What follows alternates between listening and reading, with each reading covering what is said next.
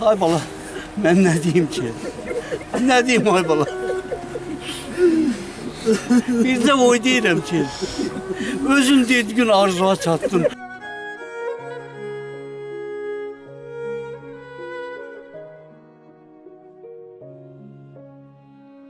Sənin ala bilmədiyin torpaqları mən alacağam ata. Deyərək döyüşə yollanan oğullarımızdan da Zeynalov Nurlan. Vətənpərvər ruhda böyüyən Zeynalov Nurlan istəyir ailəsinə, istəyir dostlarına həmişə əlindən gələn köməklikləri göstərərək yaddaşlarda qalır. Necə deyək, hər şəhidin öz hekayəsi olur. Nurlandan bizə qalan qürur şəkilləri və balaca körpəsidir. Allah rəhmət eləsin.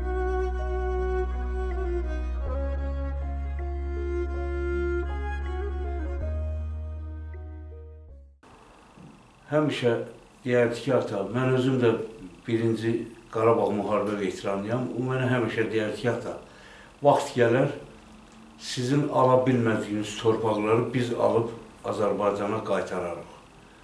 Və dediyi arzusuna çatdı.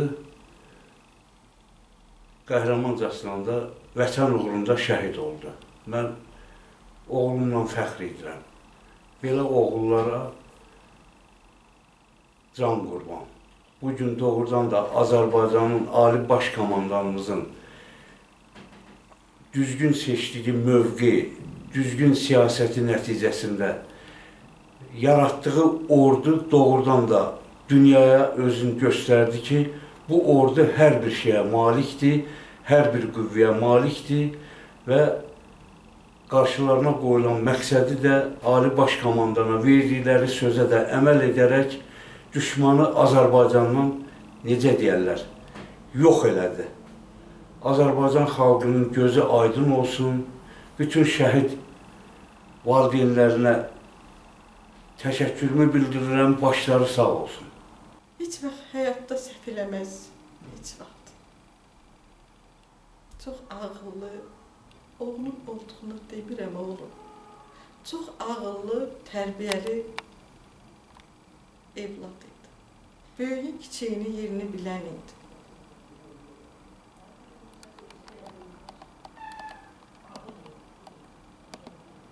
Hatta o kadar ana ata kaygısını çekerdi ki çok valideyn isteyerdi. Çok. Bir gün 27'sinde dediler muharebe başlıyor. 28-ci günü dedi, ana məni çağırmadılar. Nuray'ı bizim kızımız bir evladımız var. Adı Nuray'dı. O Nuray'la nefes alırdı. Nuray'a çok bağlıydı. Həmişə işdən gələndə o qədər yorğun olurdu. Onunla belə Nuray'la elə qayğı göstərirdi. O yorğunluğu elə bil heç yox idi onun. Deyirdi hər aldığım nəfəs Nuray'da. Dünyalar qədər sevdiyi Nuray'ı vətən yolunda dəyişdi. Torpağımız dedi, alınmayın canımı dedi, mən heç vaxt rahat ola bilmərəm dedi.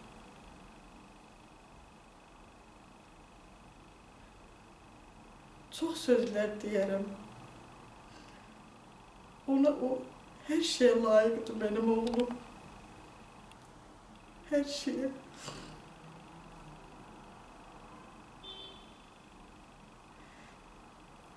Benim oğlum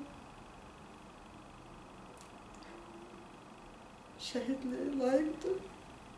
Torpağımda benim oğlum şehit oldu.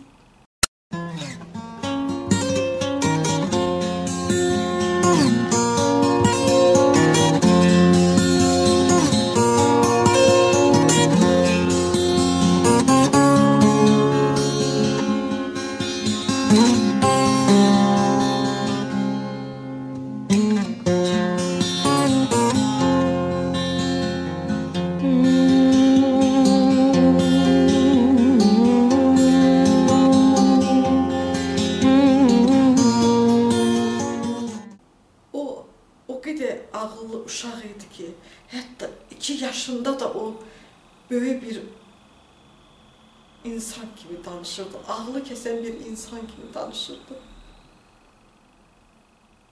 Büyüyü boşa, başa çatandan sonra dedi ata, sen alabilmedi gün dedi torpalı, ben aldım. Ama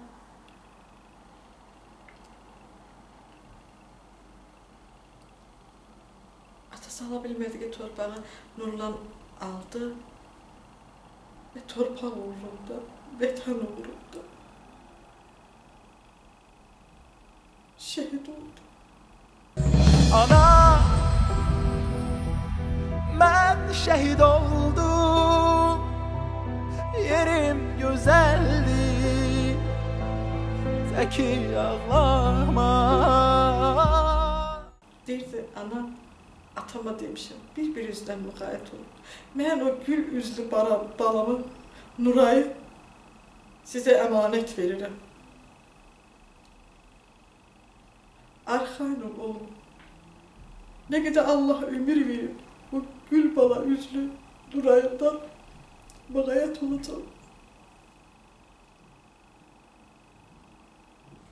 Deyirdi ki, həmişə Seyid Güvən, mən 30 yaşından sonra özümü görmürəm.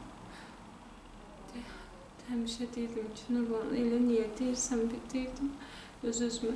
Allah, bircə Nurlanın 31 yaşı olsaydı,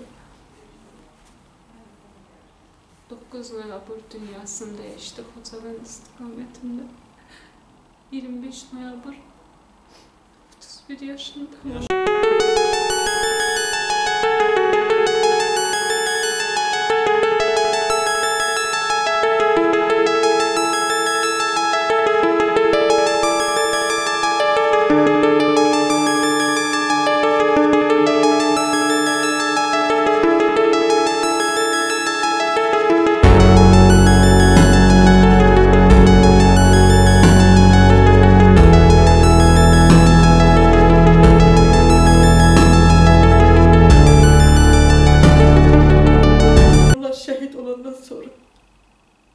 Nuray'a su verirdim. Nuray'ın ağzına su verəndə Nuray, Nuray pəncərəyə əlilədi. Dedim Nuray, Nuray, dedi nene, ata, dedim can ata. Onun gözləri hər gün, hər gün ata görür o, hər gün. Nuray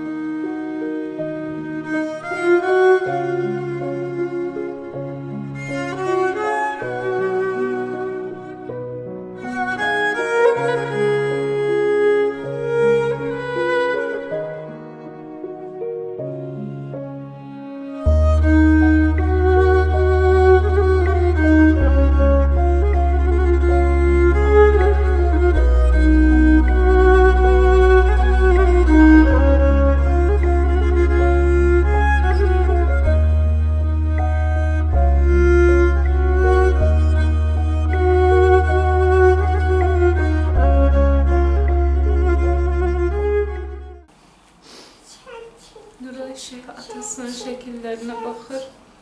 Hələ də bu indi şəkilisi. Həmişə baxır atasının şəklinə. Ata